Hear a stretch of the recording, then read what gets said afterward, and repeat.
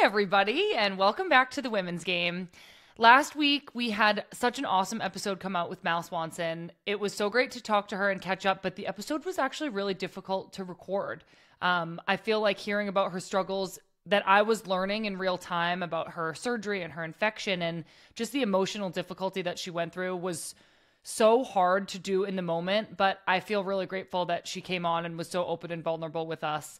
Um, so, a huge thank you to Mal for coming on and talking about all of that. There was so much big news this week. In transfer news, we have a bunch of players who have been playing overseas who are coming to the NWSL that I'm really, really excited about. Chelsea midfielder Jessie Fleming is going to be joining the Portland Thorns. Defender Jen Beattie from Arsenal is going to be joining Bay FC, along with forward Asisat Oshoala of Barcelona. Bay FC is getting some great players. Um, it's so fun to see Jessie Fleming coming to the NWSL. She's joining her Canadian teammates Janine Beckie and Christine Sinclair. Um, I'm so excited to see her play. I remember talking to her when she was deciding that she wanted to go to UCLA, and I was a senior there at the time. Uh, and a few of my teammates and I were kind of like used to recruit her to come to UCLA. I think Jessie Fleming is such a great player. She's done so well at Chelsea. And the fact that the NWSL is getting her now is such a bonus for us that we all get to watch her all the time. So I'm really excited about all that big news in the NWSL. There were also a lot of big games this weekend in the WSL, that's the English League. There was a huge West Ham win against Arsenal. West Ham was kind of in a relegation battle, and Arsenal are title contenders. So to see those two teams face off and the result that happened it was incredible. Um, I've loved watching West Ham play because my sister is on the team. And I keep seeing Katrina Gorry. Um, she's performing so well. She's an Australian midfielder, and she's really made a huge impact for this West Ham team since she signed in the January window. I keep shouting out as I'm watching West Ham during this game. I was like, oh my God, West Ham's going to win. And I was so excited. Um, this is a huge three points for them. And I think this is kind of slowly but surely just becoming a West Ham support podcast. So let's keep that up. Chelsea won again this week. There was this particular goal that they had. There was a beautiful combination at the top of the box that Mia Fishel, um, U.S. forward, was involved in for them. And Erin Cuthbert was able to finish off the goal. It was such an awesome goal. If you haven't seen it, you should look it up on social media. And Chelsea remains in the top spot of the Women's Super League with that win. And NWSL preseason has kicked off. I'm seeing tons of content from all the NWSL clubs. It's so fun to see like the launch videos and pictures of all the girls in training. Um, I'm really, really excited. There's probably going to be some preseason scrimmages coming up soon. Gold Cup, which is a big inaugural women's tournament featuring the U.S. women's national team and other CONCACAF and CONMEBOL teams is right around the corner as well. That's going to be starting February 17th. There will be lots of international games to watch. And as for me, I wanted to share with you guys my husband, Pat, he's a cook. He made us like a real roast dinner on Sunday. It was so good. It was like we could have been in a pub in England. We had roast beef, we had potatoes, carrots. He made gravy and he made homemade Yorkshire pudding. I don't know if you guys have had Yorkshire pudding. Apparently, it's really simple to make. He made it in these little like muffin tins that we had. It was so delicious. I think I'm gonna have to have him make it every Sunday. We didn't even eat it in front of the TV. We like sat down at the table and had like a proper dinner, and it was so so so good. So I, I'm highly recommending roast Sunday dinners from here on out. This episode that you're about to listen to with Lucy Bronze, who is Lionesses and Barcelona right back, is so awesome. I had so much fun interviewing her. Lucy and I played together at Man City a couple of years ago, and she's such a competitor, um, such an incredible player. And honestly, this interview was so much fun to do. She talks about how much she loves being in sunny Barcelona. We go through the 2022 England Euros win. And we even heard a little bit from her dog, so don't be alarmed if you hear that in the background. That's just Narla. Thank you all so much for being here and enjoy this interview with Lucy Bronze. Hi, everybody. I am so excited to have Lucy Bronze on the show today. Lucy and I played together at Man City for a season, and we shared a small, secluded, socially distanced COVID locker room with Alex Greenwood and Rose Lavelle. Lucy is one of the most decorated players in the world. She is a four time Champions League winner, three times with Lyon and once with Barcelona an Olympic bronze medalist, World Cup finalist, and the best FIFA women's player in 2020. She has ties to America, having played at the University of North Carolina and won a national championship there in 2009. Lucy has conquered multiple European leagues between the WSL in England and Division 1 Feminine in France. She is now playing in the Spanish league Liga F for Barcelona. Lucy is also one of the pioneers of the women's game, advocating for fair pay on behalf of her teammates and also serves on FIFPro's Global Player Council. It is an honor to have someone on the show who is as obsessed with winning small sided games in training as I am. Lucy, welcome to the show. Thanks for being here. Thank you. That was a long introduction. I know. How do you feel about all that? Um, I think I forget half of it most of the time, to be honest. well, it's like so amazing, and there's more to congratulate you on. Just recently, you were just named again in the FIFA Best World 11 for the sixth time, and your club team Barcelona just won the Supercopa. How, how hectic have things been lately? Yeah, this week particularly. Yeah, we I had training Monday morning, flew to London, flew back, trained to Madrid, play against Madrid, then Supercopa final, then back in Barcelona. Yeah, it's pretty full on. Oh my gosh. What is it like when you're doing all that? Like, are you eating normal meals? Are you sleeping enough? Like, how is that like for you as an athlete? To be fair, it was I was really tired this week, but I'd say one of the very positive notes of being in Spain is there's always siestas are fitted in the schedule. Like you do not do anything between lunch and like 5 p.m it's siesta time. Doesn't matter when, where, how, what, who. Everybody's having a siesta. Well, I love that. I'm jealous. It's 3 p.m. my time here, so I'm gonna start scheduling in my own little siestas in the afternoon. When I came to play for Man City, I really wanted to like gain experience playing in a different culture and learning about football in a new environment and I feel like I did learn so much tactically, but more importantly, I was being challenged every day facing really technical players who were great athletes and who understood the game really well. You are a multiple player, a multiple time player of the year in England. So, what are some of the things that attracted you to changing your environment and heading to Spain in 2022? Yeah, I think learning more. Like I think like you like challenging yourself.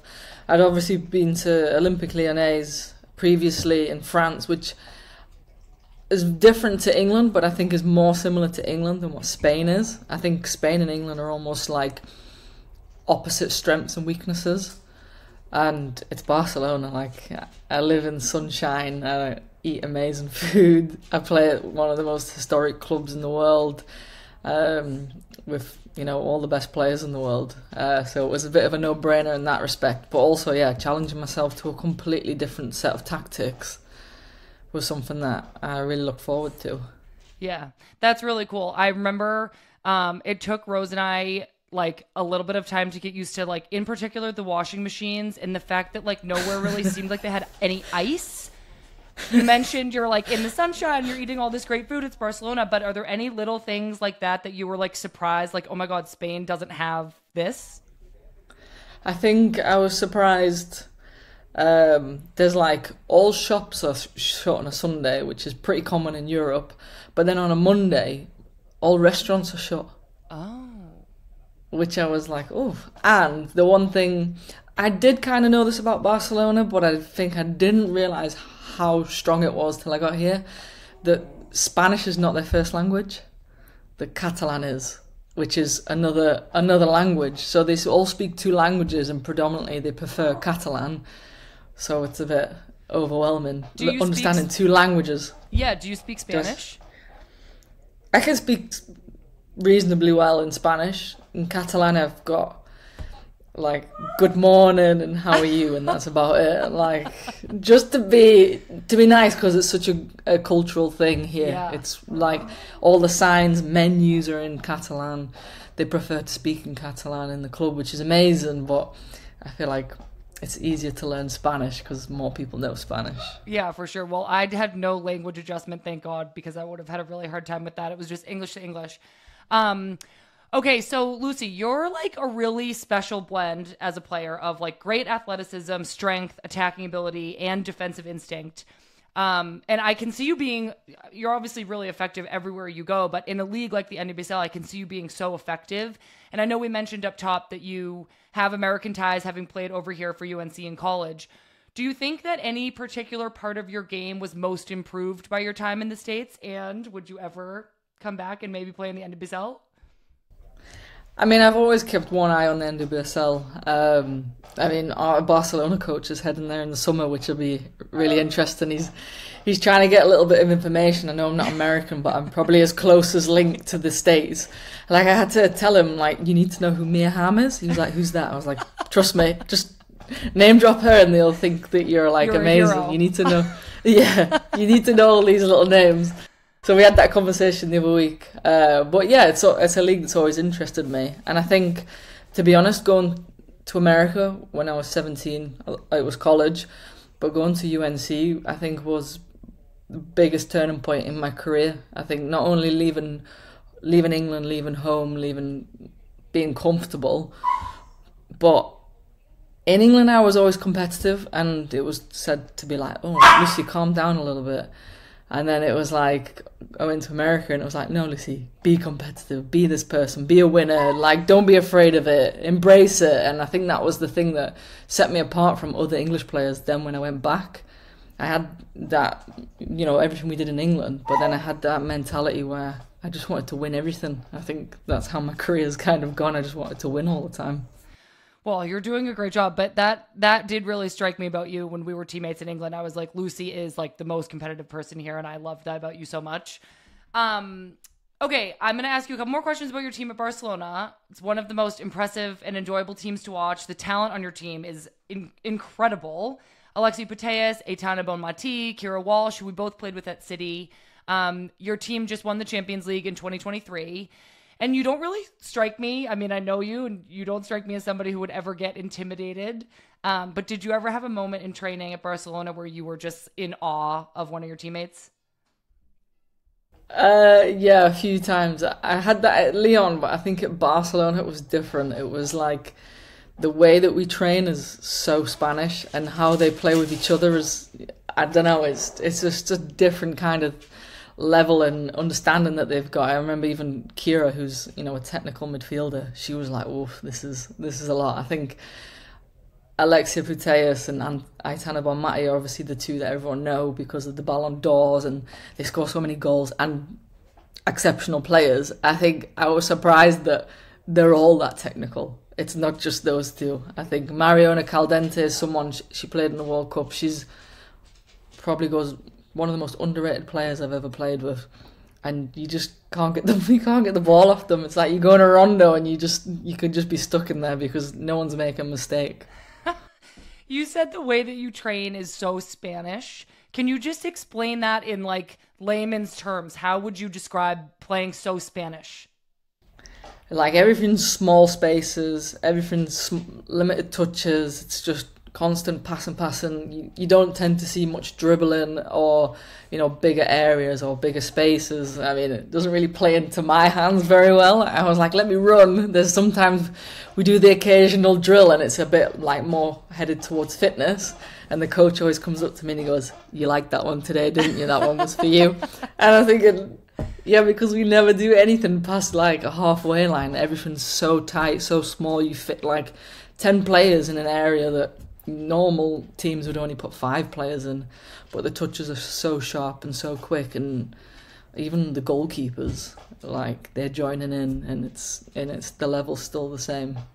Wow, that's so cool. Do you think that that um, just that really like high standard of technical ability is that a reflection of your coach, or is it more a reflection of all of the Spanish style of soccer? I think it's the Spanish style. I think, don't get me wrong, our coach is really good. He's super obsessed with football, uh, soccer. We'll say soccer. Thanks. I'll I'll do that for you. He's super obsessed with soccer and like all the little small intricacies and touches and things like that. But all of these players have that understanding. Like even if you don't understand on each other's language on the pitch, it's like everybody understands what we're supposed to do with the ball and how we're supposed to play and I think it's and predominantly our team are you know the the spine of the best Spanish players, and I think you know the way that Barca plays, the way that those girls play, in particularly, you can see how it's then transported into the Spanish national team because then they play a similar way, and it's like the coaches and the staff is different, but th- those core players are the same. and everything stays the same because they have this amazing understanding and this amazing intelligence with the ball. Yeah. Yeah, for sure. Well, I mean, you can see that both with your team Barcelona and the Spanish national team, obviously. Um, your coach, you might have to help me out here with the pronunciation. What do you? I just how call do, him you call Jonah. him? You call him Jonah. Jonah. I'm gonna Yeah, call him Jonah. easy. He's coming um, to the NWSL and he's going to coach the Washington Spirit um, after your season concludes in May. But he's won with your team the Continental Treble and a Champions League title. Can you tell us a little bit about him and his personality? I think you get this guy talking about soccer and you're there for hours. You could ask him one question and the explanation goes into the whole team and the whole pitch and, and every every possibility that you could think of, he's thinking of it. I think he's someone who's if you really enjoy learning about the tactics of particularly attacking football, you could sit there and listen to him for hours. Um, He's he likes to improve his English, and he's very com- he's very very competitive. He likes to join in, or he'll say, "Watch this, I'll hit the crossbar," and he'll stand there for ten minutes doing s- silly things like that. He's super competitive as a player, as a coach, the way he manages. Um, but he's a yeah, he's a really nice guy. I think I think people forget he's quite young. He's uh, he's actually younger than me, which is a bit embarrassing. crazy. Yeah. Wow. yeah, but he's he's just he was an anal- he was an analysis before he was a, a coach. Then he was an assistant, then the full manager. So I can see why he has that understanding because he's just watched hours and hours of video and, and clips, and he's just super obsessed with it. But a really good guy. Wow, that's really cool. Um, it sounds like he's super competitive, which obviously is going to translate to the American League. But what other things about him and his coaching philosophy do you think are going to showcase in the NWSL? I think from what I've when I've spoke to him, I feel like he really wants to take his style of play over. Maybe try and get that Spanish style in a little bit. Uh, but I think it's going to have to be a bit of a mix of uh, a hybrid. I can imagine it won't be easy straight away. Um, and obviously, I think he, he has to get used to this, the whole system of how you sign players and putting a team together. Um, he likes to put teams together and, and fit players in different positions to make the team tick all together collectively. It might not necessarily always be the best 11 on the field, it's the best team, uh, which I've noticed at Barca, it's like who fits together is like a jigsaw rather than just these are the best players, go ahead and play. Um, so I think you'll see that. But yeah, I'm really hoping that he brings that possession based play, build up play that Barcelona particularly is so well known for. Um, and from speaking to him, he's I think he's excited for that challenge of bringing that to the states. Wow. Well, the more you talk about him, the more I am so excited to see him coach here.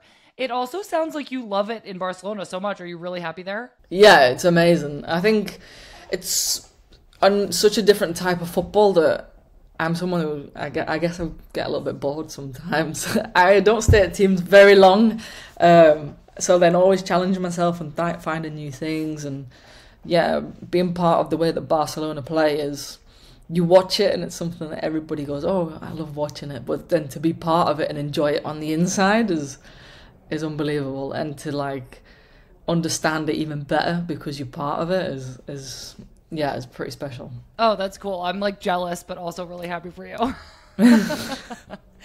um, okay, so unfortunately, women's soccer in Spain has made a lot of news in recent years between the poor treatment of the women's national team in the lead up to the World Cup by coach Jorge Vilda, to the horrible actions of Luis Rubiales against Jenni Hermoso, and also yourself at the medal ceremony after the World Cup final. You and Keira Walsh both were in a unique position in that many of the Spanish players are your club teammates. Um, what like conversations did you have with both your English teammates and your Barcelona teammates about how to best support the Spanish players in the fallout of everything that happened after the final? I mean, I think the conversations with both teams were so different, and I remember I spoke with um, Alex Morgan as well, actually, because I think the US has always kind of been the standard, particularly in women's soccer, of how you speak out and how you stand up for yourself and for others. And I think as an England team, we've always tried to follow in the full footsteps of the US, and then then to see Spain almost asking England for our help and like being on the other side of it was really interesting. Um, you know, I think in terms of society and women's football, uh, women's soccer in society, they're a little bit behind. And I remember that was England a few years ago. So to kind of help them through that process was quite interesting because I know it's a, a, place where we've been before. I think the England girls were always asking what's going on, what can we do. I had so many messages, not only from English players but from players all around the world because obviously I've got that contact with the Spanish girls. Um, and I think for the Spanish girls, it was almost like they were like, oh, like that many people care about us and that many people want to help us. Because um, I think it in the past it's not really something that's happened in Spain, particularly for women's football. You know, you exclude Barcelona in the last couple of years, and women's football hasn't really been on that same level of growth as maybe the NWSL or the the FAWSL or international teams have, have been on that same kind of trajectory that's just gone through the roof. But Spain has the talent and had the players, but I don't think they realise in the head how good they are and how big they are and how much people want to help them. So it was um, it was kind of difficult because I wanted to just be like, you guys just just say something, just come out and talk. But then I had to remember that they're getting used to that and learning as a team what to do. Um, but yeah, I mean, thankfully things have kind of gone in the right direction eventually. Um, but I mean, for Jenni especially, I think it's been the hardest. Um, I don't know her really well personally, but having you know, heard from all the girls and everything that she's had to go through is is insane. It's un- unimaginable. Yeah, totally. Well, I mean, obviously that was something I hope never is repeated. Um, like you mentioned, the NWSL has kind of gone through its own reckoning uh, with situations not too dissimilar, and it's definitely an ongoing process. Um, but we have to keep paying attention. Things are always evolving, and kind of separately, I mean, we've seen recently that teams like Nigeria and Jamaica are having issues with their federation still regarding payments at the World Cup. And um, like you said, I think just as players, it's important that we maintain these relationships and know that we can all advocate for each other and ourselves. So thank you so much for sharing that. Um, I think I think with that as well is that everyone always looked at the US and it was like, oh, the US win World Cups and Carli Lloyd, Alex Morgan, like Megan Rapinoe, and we all know these people almost not just as footballers, but kind of celebrities in a way. Like they're huge, like they're global. So I think so many teams and players think like, oh, I can't do that because that's the US and they've done this and they've done that. And it's like you don't have to have achieved what they have achieved to have that same level of respect. Like you have that respect, and everybody's here to back you. Which I think a lot of countries now are, are realizing that we're all in this together. It's not just those one or two, three, four, five names that you know that speak out. Everyone can speak out, and we can do together. For sure. Wow. I'm yeah, spot on. I'm so glad that you're one of the pioneers of talking about this, and that you're you have all these connections all over the world, so you can continue sharing this message. So I, I really appreciate you saying that on here.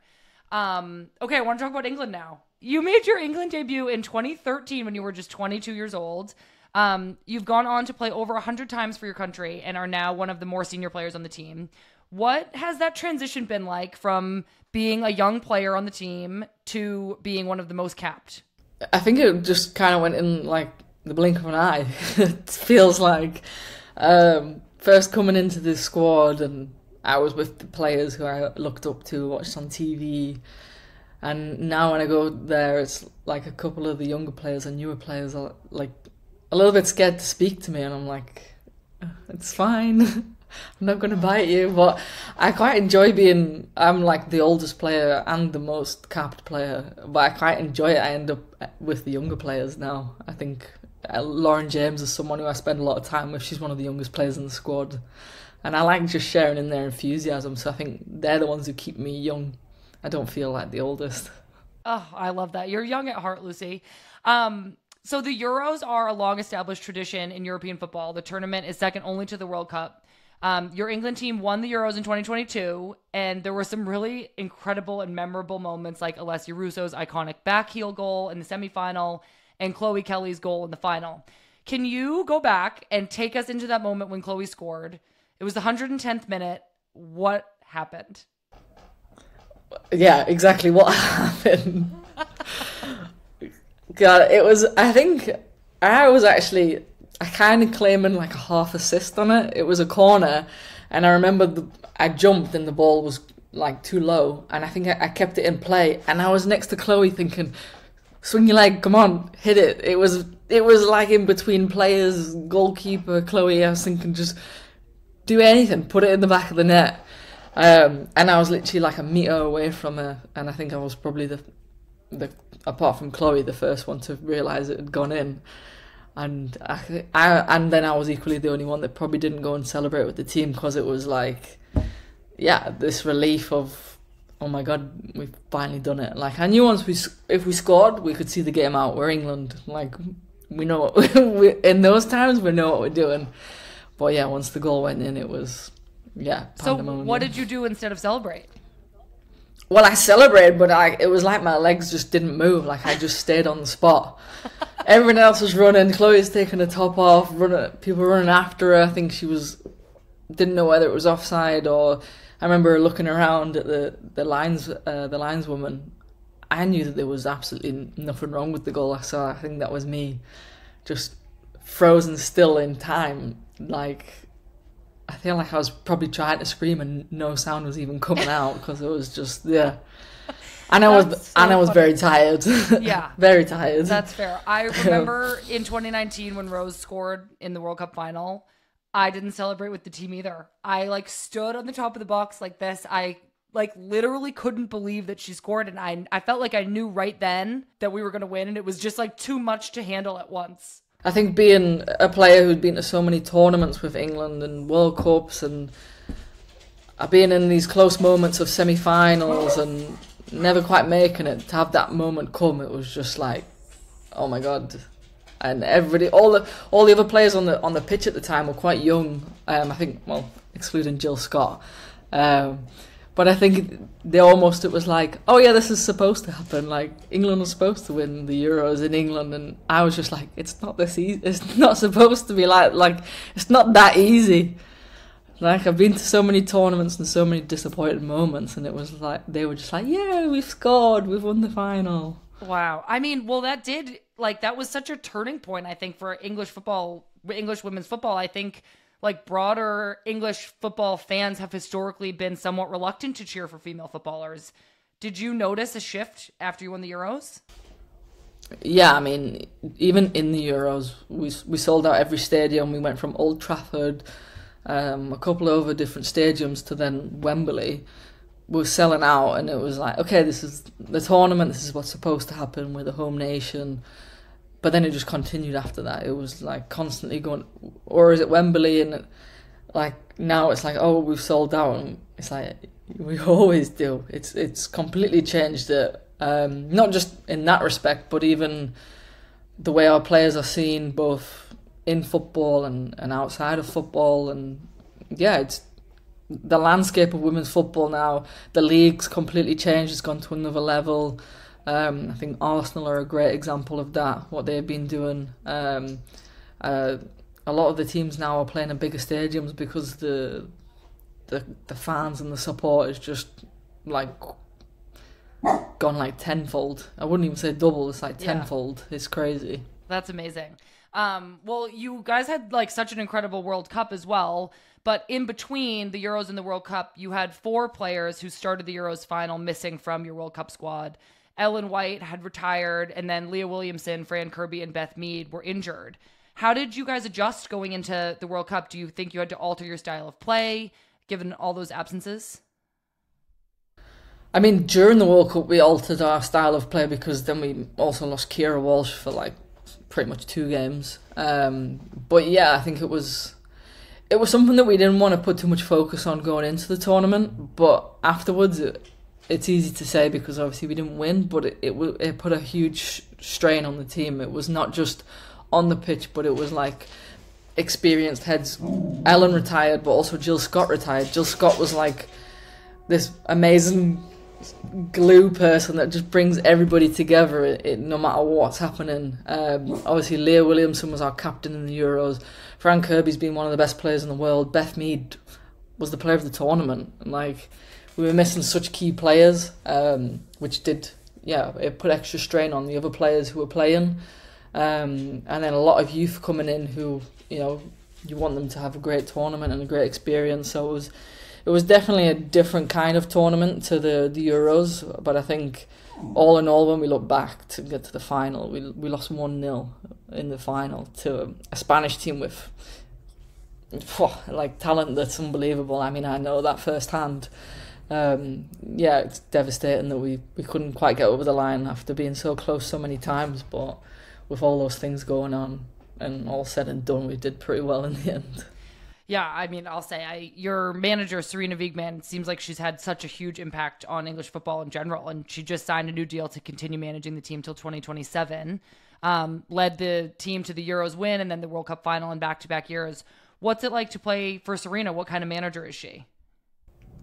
I think Sarina's she's got a bit of both. Like she's good at coaching on the field, and then she's good at managing off the field as well. Um, she's quite direct, being Dutch. It's a bit of a Dutch stereotype. Uh, if but it's true. If, it's true. She asks you for your opinion. You give it. You give it to her, and she still says, "No, I'm right." It's fine. she still listens to you. Uh, but yeah, she's very direct. She, um, she knows what she wants to do and how she wants the team to play. Um, I think as well, you know, she did inherit a quite a good England team and quite a good England squad, uh, but she made the finishing touches that made us take took us to that next level. Um, but yeah, I mean, I think we're all pretty happy that she's extended her deal with the English national team. She seems to enjoy herself very much. I think she's also improving and developing as a person and a manager as well, and we're on this journey with her. So it's yeah, it's really amazing. I think we're just happy that she's staying with the English and not going elsewhere. yeah, yeah. Uh, well, I'm happy for you guys. She seems like such a great manager. Um, like you said, your team lost to an incredible Spanish team in the final, one to zero. And then also, sorry to bring this up, you guys recently didn't qualify for the Olympics. Um, it was a complicated qualification process through Nations League. We would need a whole separate podcast to discuss and explain that. But um, you've been through so much success in your career, you have so much experience, and now you're this veteran leader. How do you process losing, and how do you help your younger teammates get through it as well? Yeah, I mean, it was crushing the way that we didn't qualify because it was we're 30 seconds we were qualifying, we're potentially qualifying, and then 30 seconds later we weren't. And even still now, you know, the European teams haven't fully qualified. I think it's fair to say that it's probably the hardest continent to qualify from. And in past years, we would have qualified having done so well at the World Cup, but I think, you know, making the final of the World Cup and then having to pick ourselves back up and, you know, we were playing teams like Holland. It's not. They're not easy teams to, to play against. Um, but yeah, we left it a little bit too late. Um, and it's disappointing. And I guess for the younger players, it's disappointment that they've never felt in an England shirt because you know, in, in recent years, we've won the Euros and we got a silver medal at, at, the World Cup. You know, a lot of our players are from those two tournaments. Um, so to have to go through a big disappointment of missing a, a, major tournament, although it's not England, it's Great Britain, it's still a major tournament and you want to be part of. Um, I guess we've all kind of had to take a step back and kind of sounds sounds terrible, but look at the bright side of we've got uh, a summer where we don't have this crazy congestion of, of games. Uh, we can recover, get back together. We've got a Euros that we need to qualify for next year, and we want to keep a hold of our, our trophy. So, uh, lucky for us, there's still a tournament in the near future which we can regroup and, and put our aim on that instead. Well, yeah, I mean, you just mentioned you'll not have a world tournament this summer, does that mean you get to take a break? I mean, you've been playing at this level for so long, 118 caps. How do you balance the demands of elite club and country with rare breaks? Yeah, I mean, I think this is the first summer where I get to plan. I'm going on holiday with my family for the first ah. time oh. since I was probably like 18 or something. Because even before playing senior tournaments, you know, there's like the U20s World Cup, and we have the Euros with the youth system as well. Um, so I think I'm looking forward to taking a break. I think if you asked me this a couple of years ago, I would have hated, absolutely hated taking any time off.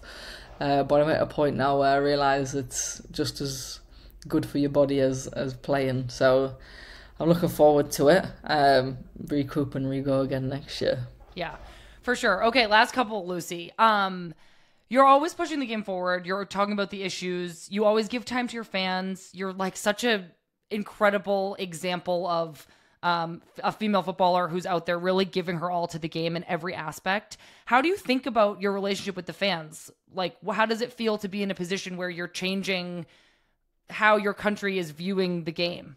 Yeah, I think it's a bit bizarre, I guess, because for me at the start of my career, that wasn't really a thing. And now it's like I've gone through that change of support and where the fans are with us and how many fans there are and everything like that is completely changed and kind of gone with the direction of my career.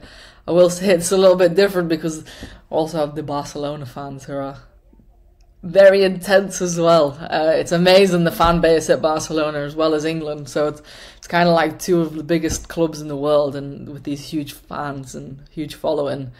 Um, but I, I love the relationship we have with fans. It's obviously a little bit different now. I think years years and years ago it was a little bit more personable because there wasn't as many people. But now you know there's thousands every single game. It's you want to thank everybody, you want to sign everyone, you want to take a picture of everybody, but you just can't, and just not enough time. But the fact that we've got these fans coming to games is amazing, um, and I think the the fans that we have in women's football really are very special. Particularly, I feel it when I play for Barcelona and for England. I couldn't, I honestly wouldn't trade either of them for any other sets of fans.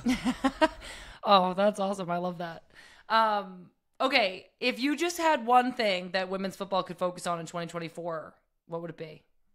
I don't know. I think I think a lot of people talk about the growth of the game and you know the increase of fans and and things like that.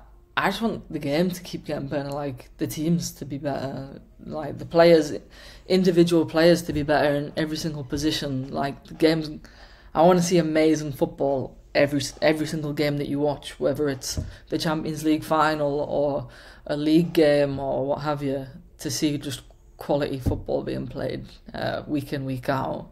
I think that's really what I want to see more than anything. I know you're such a football purist. You just like love the game and you want to be challenged. I love that. I'm obsessed.